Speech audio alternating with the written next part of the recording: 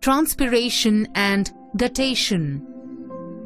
In this topic, we shall learn about the role of opening and closing of the stomata in transpiration. Guttation The difference between guttation and transpiration. Transpiration All the angiospermic plants we see around are generally green in color. A transverse section of the leaf shows an upper epidermis with a few scattered stomata. Next layer is made up of elongated cells called palisade cells, below which are the spherical spongy cells. The spongy layer ends in a single layer of cells called the lower epidermis. The lower epidermal cells show many stomata. A closer look at the stomata shows an opening called stomatal pore.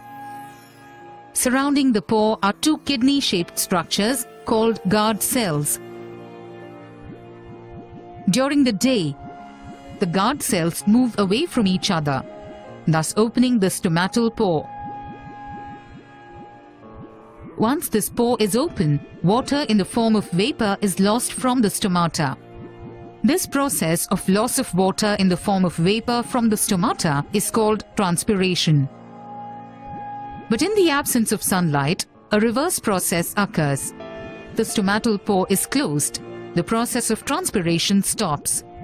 Hence, during the night, transpiration does not occur. Guttation While the loss of water in its liquid form by a plant through specialized pores on leaf margin is called guttation or exudation. A brief comparison between guttation and transpiration shows that guttation is a process in which water is secreted through pores called hydathodes.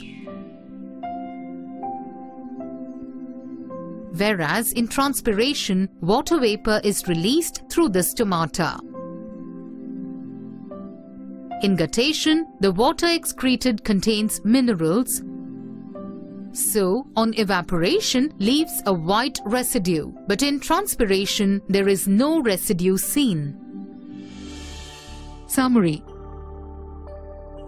Process of loss of water in the form of vapor from the stomata is called transpiration.